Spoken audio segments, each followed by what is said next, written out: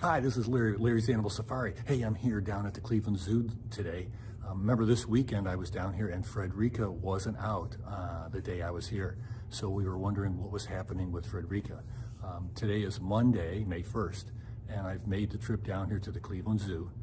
Just a couple notes about um, gorillas. The average lifespan for a gorilla in the wild is 35 years. And for those gorillas in captivity, uh, the lifespan is about 50. Uh, and that's basically because they get better food and medical treatment, and there's no threats uh, when they're in captivity, of course. Fredrika was 47 years old when she became the surrogate mom for Kayembe. Uh, remember, a year and a half ago, Kayembe was born to Nneka, a 23-year-old female. Um, after Nneka gave birth, she didn't show proper maternal care, so and Fredrika walked over and picked up the infant gorilla and has taken care of it ever since. So that was at 47 years. Um, now she's 48 years old.